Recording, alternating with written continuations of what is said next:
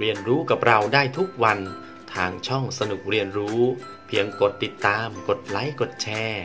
เท่านี้ท่านก็จะไม่พลาดการเรียนรู้ดีๆ ในคลิปต่อไปแล้วล่ะครับ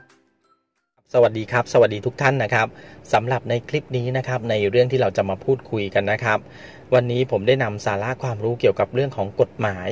นะครับ มาพูดคุยกันนะครับ ในคลิปนี้เป็นเรื่องของการที่กฎหมายเนี่ยนะครับเขาให้ความคุ้มครอง นะครับสมาชิกสภาผู้แทนราษฎรหรือสสหรือสมาชิกวุฒิสภาหรือสวนะครับในกรณีที่เป็นผู้ต้องหาในคดีอาญานะครับโดยในระหว่างสมัยประชุมเนี่ยเขาให้ความคุ้มครองนะครับ เดี๋ยวเรามาดูรายละเอียดกันนะครับครับสำหรับในเรื่องนี้นะครับ ในรัฐธรรมนูญแห่งราชอาณาจักรไทย พุทธศักราช 2560 นะครับ ได้บัญญัติไว้นะครับในมาตรา 125 ในระหว่างสมัยประชุม ห้ามมิให้จับคุมขัง หรือหมายเรียกตัวสมาชิกสภาผู้แทนราษฎร หรือสสนะครับ หรือสมาชิกวุฒิสภา หรือสวเนี่ยนะครับ ไปทำการสอบสวนในฐานะที่สมาชิกผู้นั้นเป็นผู้ต้องหาในคดีอาญา เว้นแต่จะได้รับอนุญาตจากสภาที่ผู้นั้นเป็นสมาชิก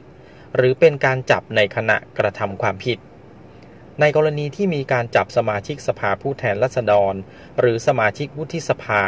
ในขณะกระทำความผิด ให้รายงานไปยังประธานแห่งสภาที่ผู้นั้นเป็นสมาชิกโดยพลันด้วยนะครับ และเพื่อประโยชน์ในการประชุมสภา ประธานแห่งสภาที่ผู้นั้นเป็นสมาชิก อาจสั่งให้ปล่อยผู้ถูกจับเพื่อให้มาประชุมสภาได้นะครับ ถ้าสมาชิกสภาผู้แทนราษฎร หรือสมาชิกวุฒิสภา ถูกคุมขังในระหว่างสอบสวน หรือพิจารณาอยู่ก่อนสมัยประชุม เมื่อถึงสมัยประชุม พนักงานสอบสวน หรือศาลแล้วแต่กรณีต้องสั่งปล่อยทันที ถ้าประธานแห่งสภาที่ผู้นั้นเป็นสมาชิกได้ร้องขอ โดยศาลจะสั่งให้มีประกัน หรือมีประกันและหลักประกันด้วยหรือไม่ก็ได้นะครับ ในกรณีที่มีการฟ้องสมาชิกสภาผู้แทนราษฎร หรือสมาชิกวุฒิสภาในคดีอาญา ไม่ว่าจะได้ฟ้องนอกหรือในสมัยประชุมศาลจะพิจารณาคดีนั้น ในระหว่างสมัยประชุมก็ได้ แต่ต้องไม่เป็นการขัดขวางต่อการที่สมาชิกผู้นั้นจะมาประชุมสภานะครับ ครับและนี่ก็คือบทบัญญัติ นะครับในเรื่องของการคุ้มครอง สมาชิกวุฒิสภา หรือสมาชิกสภาผู้แทนราษฎรนะครับ ในระหว่างสมัยประชุมสภานะครับ เพื่อไม่ให้มีผลกระทบต่อการปฏิบัติหน้าที่ตามบทบัญญัติในรัฐธรรมนูญนั่นเองนะครับ